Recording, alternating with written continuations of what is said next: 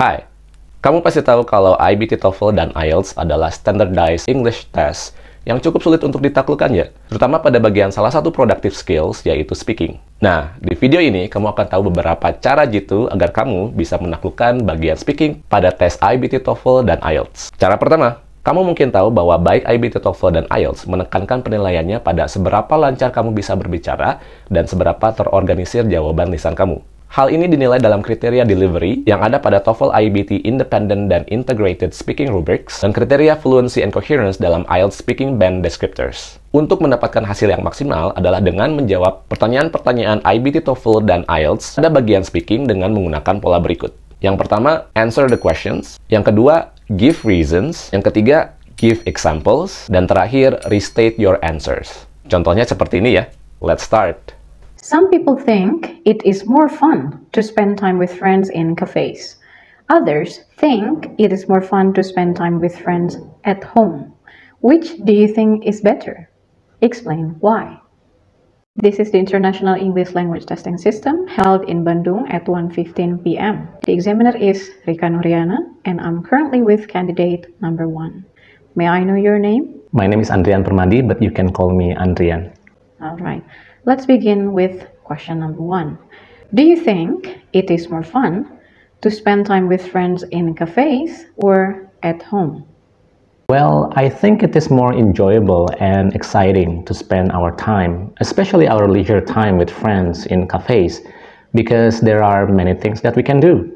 For example, I usually have a long conversation for hours with my friends while enjoying different kinds of foods and beverages that we like. Moreover, the ambience in cafes is usually good, with unique or aesthetic decorations and music being played.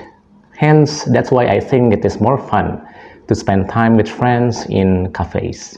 Cara yang kedua, kamu tahu tidak kalau penilaian dalam IBT TOEFL untuk kriteria delivery dan penilaian dalam IELTS speaking juga menekankan pada aspek pronunciation. Oleh karena itu, agar pelafalan kata dan pronunciation kamu itu bagus, kamu bisa pakai aplikasi yang dinamakan Elsa Speak.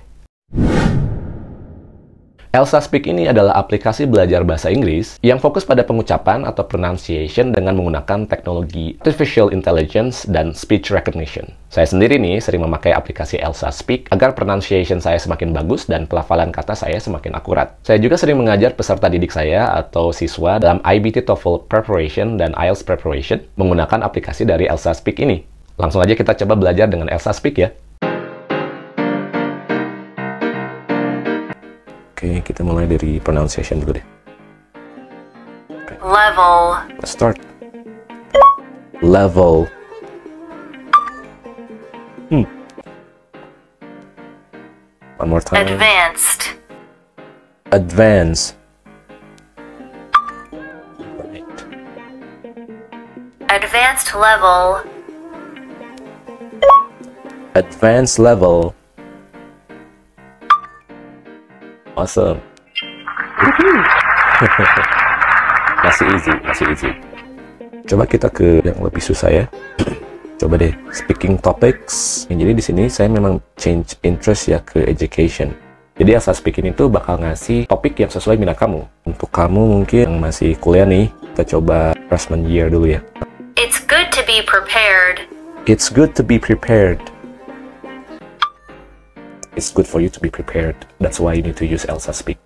College will be the best time of our lives. College will be the best time of our lives. Nice. Medium. Medium. Lesson 2. Medium. Kayaknya pro yang lebih susah lagi ya. Biar jago. Alright. Kita coba. Oke, kita coba topik yang lain. Gimana kalau work and studies. Session game. Hmm, nice. Think job satisfaction is more important than salary when choosing a job? That's a tough question. In my opinion, both are essential. Without a decent salary, it's hard to pay your bills and have a comfortable life. But without job satisfaction, it's easy to be miserable, even if you are well paid. Oh, banyak salah. 92%. Okay. lagi ya, latihan lagi. I guess I'd say you need a certain minimum for both of them. You need to be paid enough to live on, and you need high enough job satisfaction to get some enjoyment from work.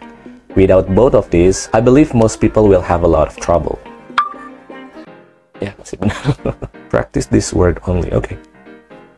Nah, di selected interest ini kita bisa menemukan juga topik tentang IELTS. Jadi, kalau kamu ingin belajar IELTS atau menjawab pertanyaan-pertanyaan dalam IELTS speaking test, kamu bisa latihan dengan Elsa Speak. Kita langsung aja coba ya. Beat the IELTS test. Ini aja, lesson 1. To be awarded a scholarship. Elsa, your IELTS coach. Today, we're going to practice using the phrase to be awarded a scholarship in different conversations. First, let's practice this phrase. Okay. To be awarded a scholarship. To be awarded a scholarship.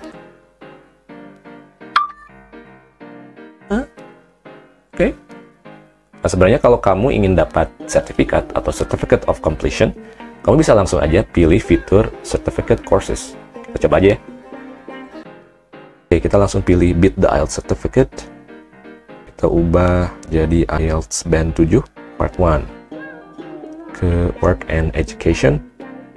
Do you have a driver's license? Yes, I do. I used to drive my family's car a lot before I moved. To be honest, I don't like driving that much, so I'm glad I'm getting around on public transportation now.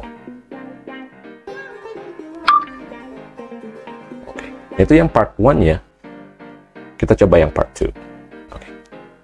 Describe your favorite store or restaurant. Why do you go there? There are some drawbacks, some items are a little expensive, and sometimes the store doesn't have what I'm looking for. But overall, it's a great place to shop. Sekarang kita coba part 3. Okay. What kinds of possessions do people tend to value in your country? I think everyone puts value on something different. Some people value expensive things like cars and houses. Other people value things that are useful to them, like computers or phones.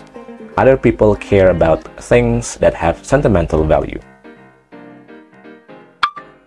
Not bad, not bad. Masih ada yang merah kuning. Menurut saya sih, Elsa Speak ini adalah teman belajar yang bisa menemani saya, siswa saya, dan tentunya kamu juga untuk belajar bahasa Inggris. Jadi, langsung aja nih, kamu bisa download dan mendapatkan free trial dari Elsa Speak dengan klik link ini saja.